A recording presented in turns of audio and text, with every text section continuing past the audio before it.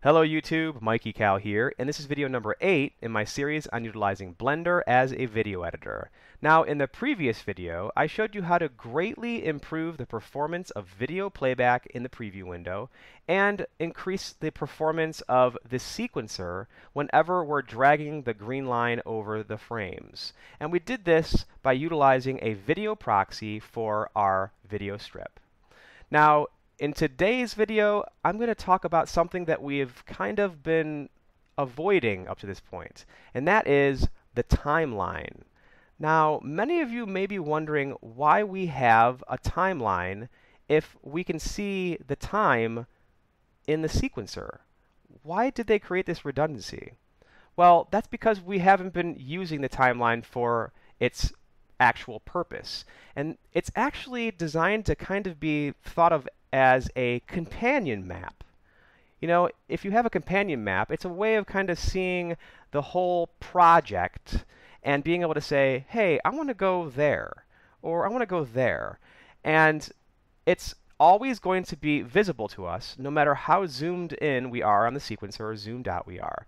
So what we can do is we can actually place markers on our timeline, and we can jump to those markers instantaneously, taking us to a different place to edit.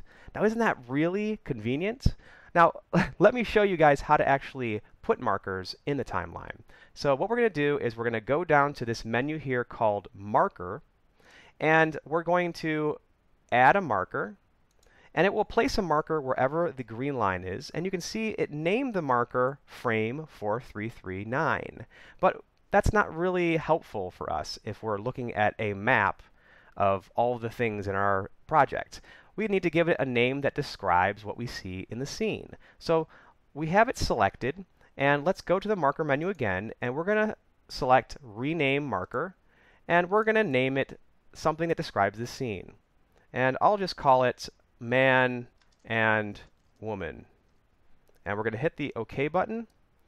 And now you can see down here it actually will tell us where the frame that has man and woman on it is located. And if I jump to a different spot in our sequencer, I can instantaneously just click on the marker in the timeline and it takes us right back to that spot for editing.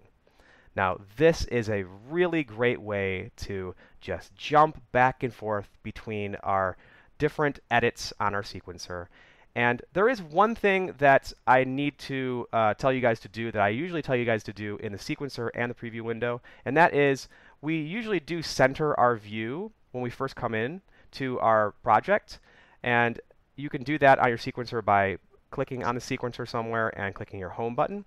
And we also want to center the view on our timeline by doing the exact same thing. Hitting home as we have our cursor over the timeline. And you'll see it will show end to end the frame range. So that's what the timeline focuses on. It doesn't focus on everything that's on our uh, in our project. It focuses purely on things that are within the frame range. So that should pretty much sum up all the great things that you can use for navigating using the timeline. So I'll see you guys in the next video.